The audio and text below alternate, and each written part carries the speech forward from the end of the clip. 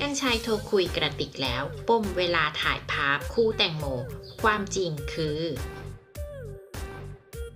จากกรณีเสียชีวิตของนักแสดงสาวแตงโมนิดา กับอีกหนึ่งประเด็นใหม่ที่ชาวเน็ตตั้งข้อสงสัยกับการถ่ายภาพของแตงโมกับกระติก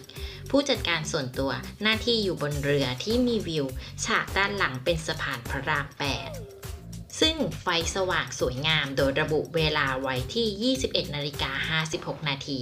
แต่มีข้อมูลว่าสะพานพระราม 8 นั้นปกติจะทำการปิดไฟสลิงช่วง 3 ทุ่มทุกวันทำให้ถูกตั้งข้อสังเกตว่ามีการแก้ไขเวลาในภาพดังกล่าวหรือไม่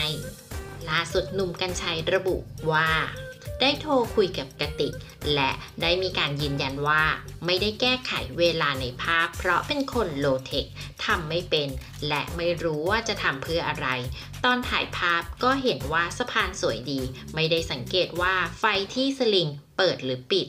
แต่ก็เห็นว่าไฟบนเสาเปิดอยู่ ก็ถ่ายแบบไนท์โหมด ปรับแสงอัตโนมัติ